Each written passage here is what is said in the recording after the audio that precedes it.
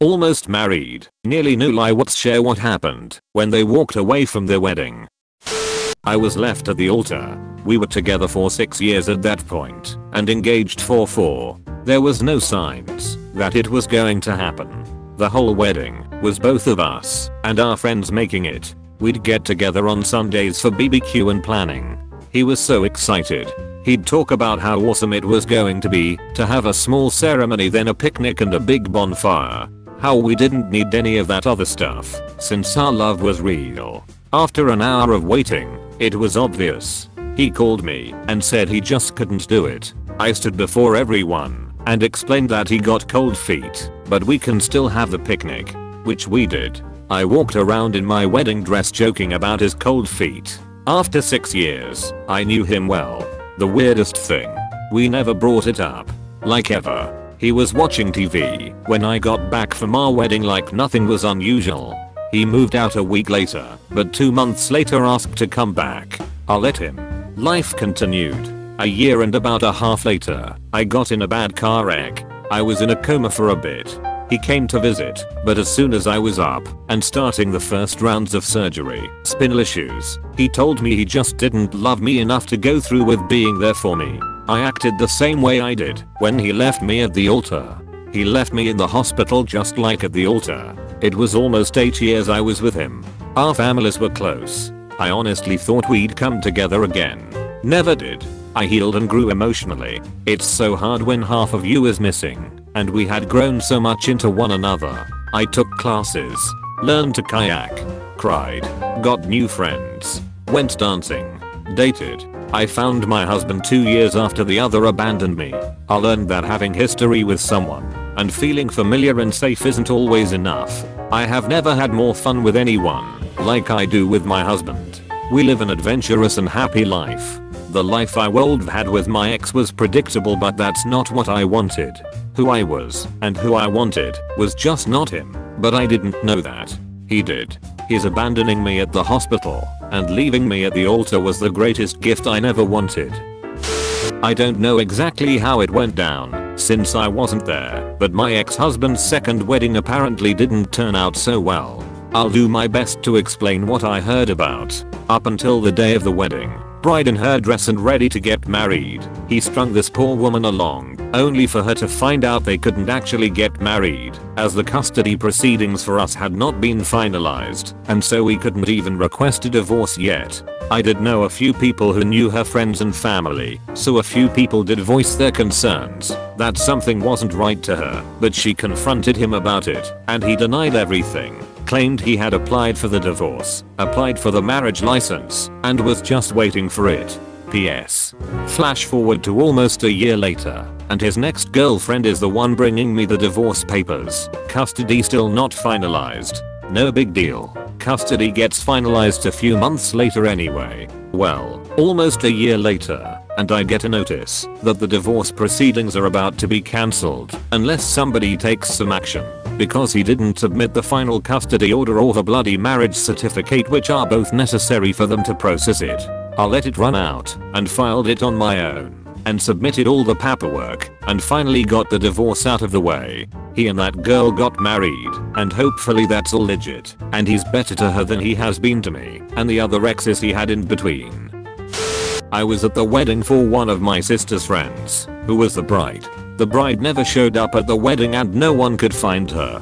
After several hours, the groom and his family all went home. Turned out the bride went out for a wild night of partying and slept with some guy she met at a club. She was passed out at his place all day long before she came around and realized she missed her own wedding. She was out with a friend. That did nothing to stop her from getting wasted and messing around. I think her friend let her get carried away because she thought the bride wouldn't have been a good wife and figured it was the easiest way to get the couple to split up. The father of the bride was mad as heck about the expense of the wedding that came out of his pocket. The groom has since moved on with his own life, discovering the woman he was going to marry had cheated on him the night before their wedding, made him break it off. Go figure. He hasn't gotten married, but I hear he's dating someone, and it looks serious enough that they might get married soon. The bride has been having problems trying to get the respect of her family back after that stunt. She once tried to talk to me when I was single to see if we could go out. I told her flat out I had no interest in dating a woman who cheats like she does. We've not spoken since, much to my relief. My cousin left his fiancée about 3 days before the wedding. They'd met slash been dating for less than a year, actually, 6 months, before they got engaged, and they had a lot of issues, especially financially. I guess she abused him as well, emotionally and physically, and my cousin was scared of her. They had a really toxic relationship.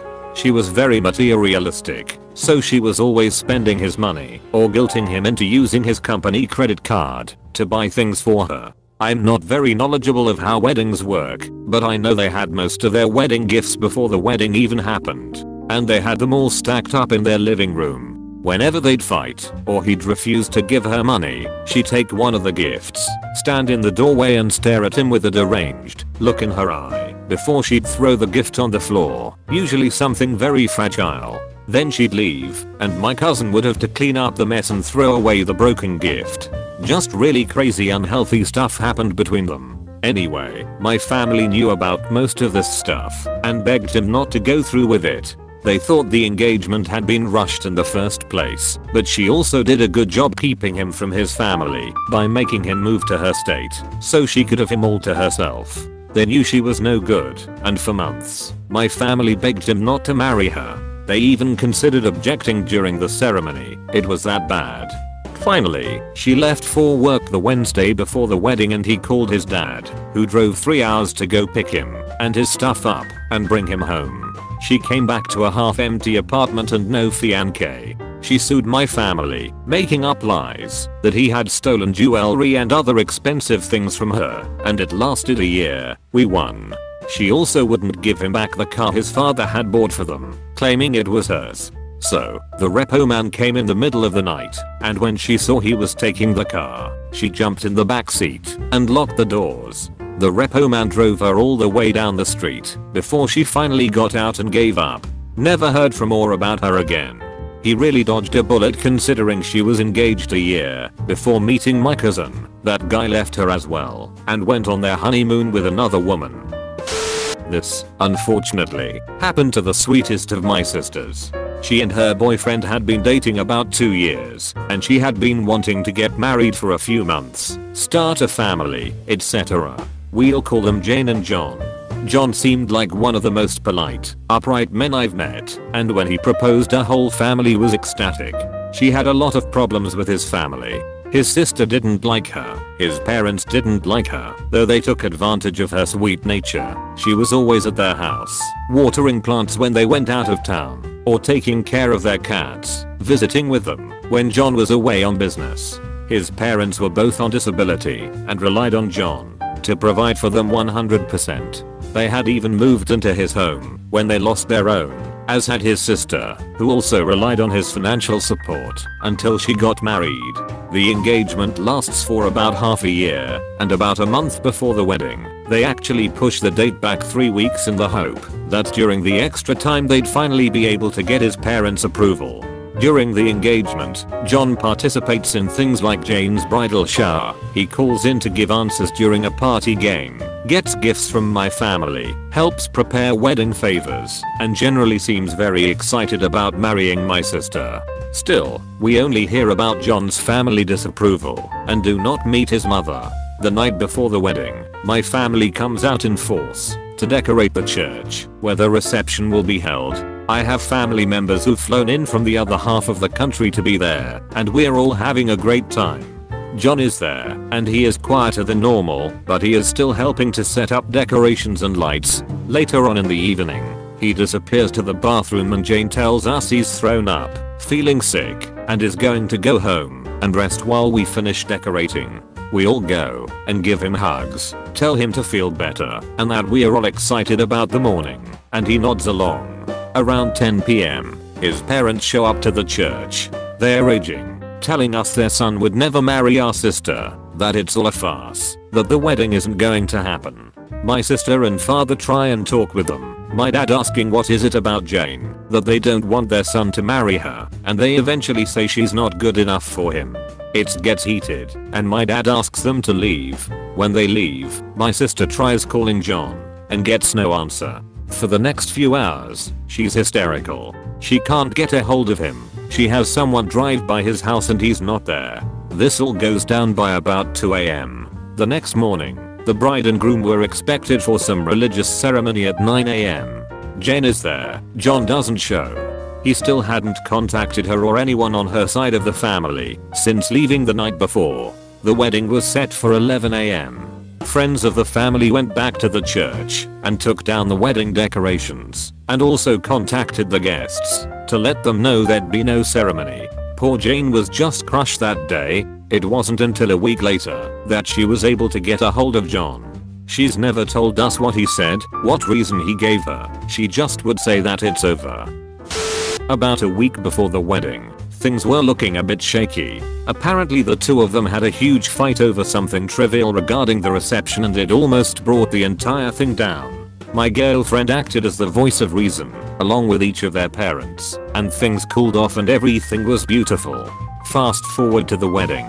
My girlfriend was with the bride up until a few hours before the ceremony. I get to the church, and she comes up to me with a concerned look on her face. All she says to me is, I'm really worried about today. That isn't exactly the greatest thing you want to hear about a wedding, though I didn't know the groom very well and had only met the bride a couple of times. Still, unless you are the worst person in existence, you want to see a wedding go off without a hitch. My girlfriend ended up being the harbinger of sorrow, it seemed, as her statement to me was an omen that came true. The bride was halfway down the aisle. She stopped dead in her tracks burst into tears, looked at her father and said, I can't marry him. She bolted out the door she came in. Mass confusion and chaos ensued. The curious thing I found about the entire bid was the groom. He looked relieved.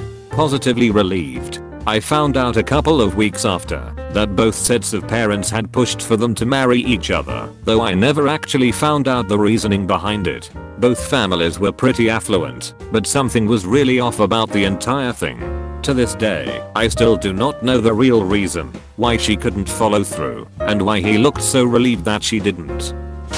Everything was pretty peachy at first. Everything was fine. I was a guest and not a bridesmaid or anything. I have on my plain dress. The wedding starts off fine. Everything is normal until the bride comes out. She looks happy. She looks fine. Her hair is up, but then the bride's mother comes charging out of the audience. Harlot, harlot, harlot, harlot, over and over again. We restrained her once and the bride, she just kept pushing on. If I had to say one thing about her, she was not a quitter. The mother was placed back in the audience to watch. She had a front row seat which was a mistake. We hear a crash and see that the mother chucked a vino bottle at her daughter. She missed, but the damage was done. The bride was upset and just couldn't take it anymore. She walked off with a groom. I don't remember exchanging any vows because once I started drinking, everything became a blur. When I contacted the bride afterwards, she told me that her mother hated that her daughter was leaving and how she was getting her own house, her own family, and everything. Not because she'll miss her daughter, but because she is wondering who will take of her now, who will pay for her weekly drinking binges, etc. The mother was more concerned that she would have some responsibility in her life a few years later, her mother was put into an elderly home because she started hoarding and threatening people who came too close to her house. Her daughter rarely visits because her mother was very emotionally abusive to her. Please subscribe if you like our content. Chuck. Just a great guy. He'd give you the shirt off your back and though he looked like a freaking head-banging metalhead, he was plain old nice and never as much a swear word from his mouth. You could rely on him like an older brother, a Caucasian mustached, tattooed, long curly haired, head-banging brother. He didn't have parents that were around, I didn't pry, and he was independent living, and started working at a young age. Wedding day. His girlfriend slash fiance of like 5 or 6 years, they look great. Church is full, they walk up the altar, the ceremony gets done, reception going on, people are talking, but I notice that Chuck just isn't himself during the whole time, just kind of like forcing a smile, and not as relaxed and smooth as he usually was. I tell my parents, but they just chalk it up as nerves. I get told how would I know what a guy feels like getting married. I wasn't yet, so I believe them. My parents were also his boss. He drove delivery for us part-time for years and just never quit because the money got him through high school and 2 years of college. And he said that he had the time, so why waste it?